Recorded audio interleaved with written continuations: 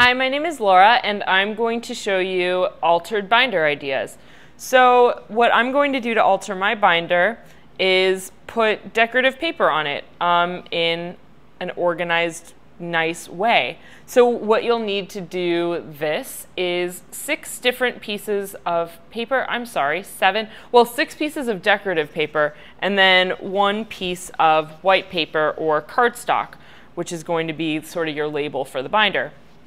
Um, get things that you think go together. I like these sort of in the purple family. Um, but yeah, whatever you think will look good together.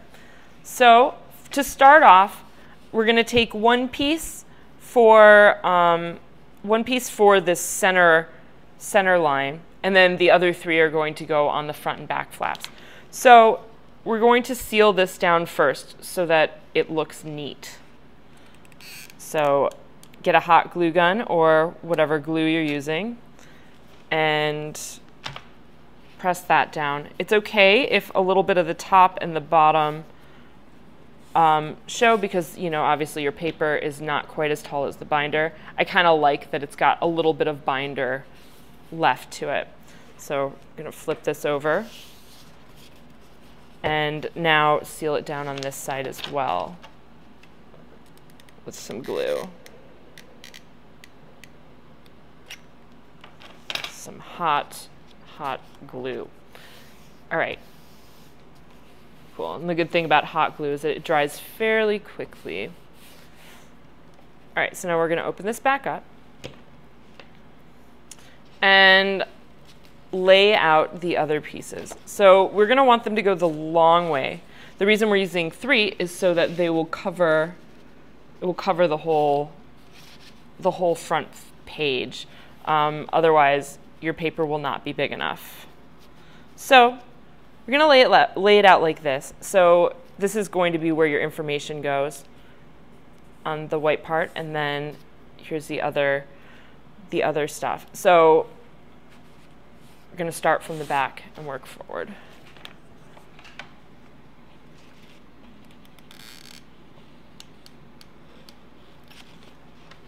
And just lay down some glue again. You can also just lay it right down on the paper However, you don't want to burn yourself.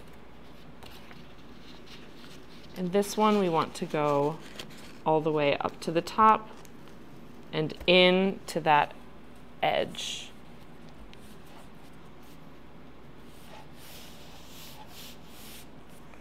Great, and now we got that down. So we're gonna lay down the next layer. I think I'm gonna go right on the paper for this. Glue right on the paper. All right, so lay all around the outer edges of your paper, lay your glue down. Ah, but not all the way out to the side because it's gonna fall off the side. But that's okay. All right. Well, there's that. And now our last piece.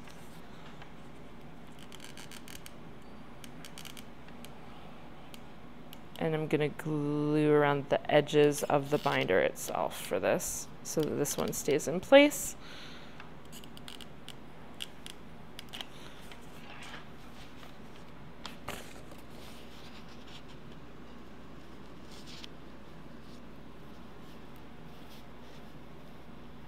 And you get a little bit of leeway with moving it around, moving the paper around after you put the glue on, but you kind of got to move fast.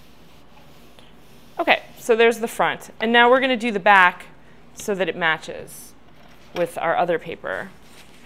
So just lay it out like this.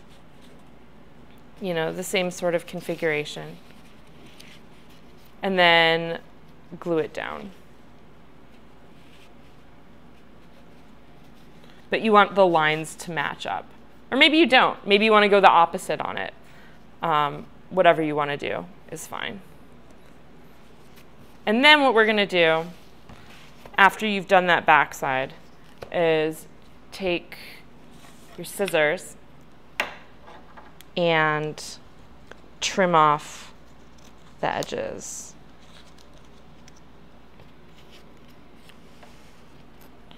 Might be easier to do looking at it like this.